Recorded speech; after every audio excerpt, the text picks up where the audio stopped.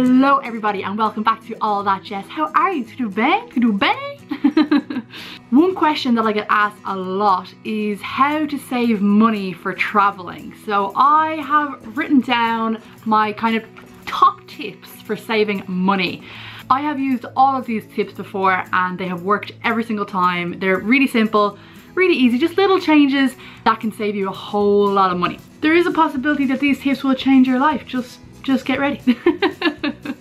the first tip I have is to learn how to say no. This can be a little bit tricky for people and it definitely takes some determination to do this. I'll give you an example of something that happened to me recently. I was in Penneys in Ireland and I picked up loads of bits. When you're walking around Penneys, it's like impossible not to pick up everything. Everything is so cheap that you're just like, oh, I'll get this, I'll get this, I'll get this. but at the end, I had loads of clothes hanging over my arm and I said, okay, hold on a second. Do I really need all of this? And that is the most important question that you can ask yourself. Do I really need this? Am I gonna wear this? Am I gonna eat this? You know, it's just asking yourself a question. So when you get to the till and you're just about to pay, just have a, have a second look at what you've picked up and go, am I really gonna use this? Do I need this? Chances are you probably don't. On my trip to Penneys, I ended up putting like a top back, I had a hat and I was like, I'm never gonna wear that hat, I'll just put it back and then bada bing, bada boom, I'd ended up saving, I think it was like 15 or 20 euro, like 20 euro. That is a lot when you think about it. Another tip that I have is kind of in connection with this tip is when you are shopping and you ask yourself, do I really need this? You can also ask yourself, do I really need this or will I prefer to go traveling? And if the answer is yes, which it most likely will be, put it back, save the money. It's really, really easy. So the next tip is cut out the extras even just for a little while. So what this means is a lot of us are spending money on the gym or the cinema or going out and drinking and going out to nightclubs and stuff like that. You would be surprised at how much money you actually spend on those things. If you really do want to go traveling, it would be a good idea to cut out those things for a short amount of time. Those little extras, those little luxuries, when you add them all up, they actually come to a, quite a large amount of money. So if you were to say, okay, for the next month, I'm gonna chill out a little bit uh, instead of going to the gym, I'm gonna go for a run around my city or instead of going out to a nightclub, I'm gonna invite my friends around to my house instead. This can be hard for some people because I know we all love our luxuries in life but at the end of the day, what it comes down to is that if you want to travel, you have to sacrifice a few little tiny things along the way. My next tip is to set up a savings account. So basically what I mean by this is that if you are currently working and your employer is putting money into your account automatically, you can also set up another account uh, that is your savings account. So every time money comes into your account, you can set it up to automatically, let's say 10% or even 5% of that money comes out and into a different account that you don't take money from. When this money is going into the savings account automatically, you will actually surprise yourself as to how much money you're saving because you barely even notice that the money is gone in the first place. And then every time your employer pays you, your savings account is getting bigger and bigger and bigger and you didn't even notice because you, because you didn't have to put it in there yourself. It's going in automatically. Win, win, win. this next one is a little bit weird. I think my friend gave me this idea years and years and years ago. Basically what you do is you have a money bank in your room. So I'll just show you mine. This is a weird one.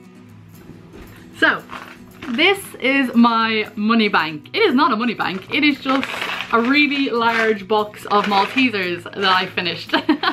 and basically what I do is every time that I'm cleaning my room or I put my hand in my pocket and I see, oh, there's some change in there, some coins in there, I take it and I put it in here.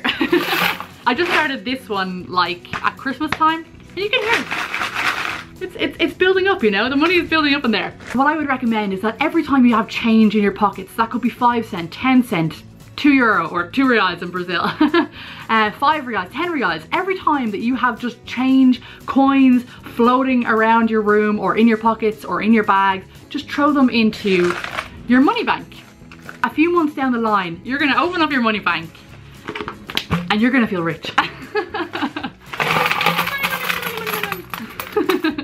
I did this for about three months and um, every time I had some spare change, put it in my money bank and after three months I came back and I had 120 euros in my money bank, just in coins. Just in coins, like I didn't even realize how many coins I had around my room or I was actually shocked at how much it all added up to. And so 120 euros I think that's like 360 reais or something like that, 360 reais. Realistically, this money bank technique probably won't buy you a trip to Ireland anytime soon, but it will get you a trip from Ireland to France or from Ireland to Spain, England, anywhere. So it is worth it. My next tip for saving money is to keep track of your finances and this is one that I need to work on a little bit more. There are loads of different ways that you can do this. There are many apps that you can download to keep track of your finances but basically the whole point of it is that when you keep track of your finances you know exactly where your money is going and where you're spending the money. For like a space of about one or two months like I kept track of my finances and kept track of where my money was going and I realised oh shit I'm spending an awful lot of money on lunch. From that then, I was able to go, okay, well then I need to cut this down. If I want to go traveling, I need to cut this down big time. I decided to start bringing my lunches into work and that saved me so much money. Just little, these little things are going to save you so much money. Now, the last tip I have is actually about earning more money. Now, it's not as hard as it sounds, and it's something that I just thought about yesterday, which was using the skills that you have to earn more cash. So basically I work for an event management company but a skill that I have on the side is my photography. I always use photography as a way of earning more money. I do little odd jobs around the place like I I do photo shoots and I do uh, I photograph events and weddings and stuff like that. On top of the income that I get from my day job, I'm earning money from my photography on the side and it makes a huge difference.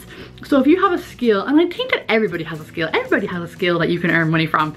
Um, it can be anything from photography or it could be music. You could teach music lessons if you, you could teach English, you could teach Portuguese, uh, you could cut people's grass. you could, uh, a big one in Ireland is that we babysit, so we mind other people's kids. There are these kind of little jobs that you can do um, whenever you get a chance that are going to earn you a lot of money. So these are just the kind of little things that you can do to save a lot of money to come traveling. If you have any other ideas and tips on how to save money, please comment aqui embaixo. I think it's one of the hardest things about traveling is saving money to keep going. But these are just a few tips that I know are gonna help you so, so much. Just before I go guys, there is one last thing that I wanted to mention. Over the Christmas break, I've gotten a few mails from people asking me why I haven't accepted them on Facebook.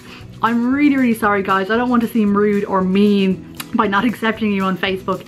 It is purely because I have gotten hundreds and hundreds of friend requests on Facebook I literally feel like my entire newsfeed is in Portuguese I don't understand anything. if I accept some of you, I have to accept all of you and if I accept all of you then I literally will not understand a word in my Facebook homepage. so I hope you understand guys. I do however have my own Facebook fan page and that is the Gap Year Guru Facebook page. I have a link down below in the description box if you would like to follow along. I love, love, love, love, love connecting with you guys on there and that is where I post about all of my travels and my blogs my videos and stuff like that. So I would absolutely adore for you guys to connect with me on there. Again, I'm really sorry that I can't accept you on Facebook. I hope you understand. if you have any other ideas for me for my videos, I would love to know comment aqui embaixo. Obrigada. I will see you again next week, guys. Beijo, tchau.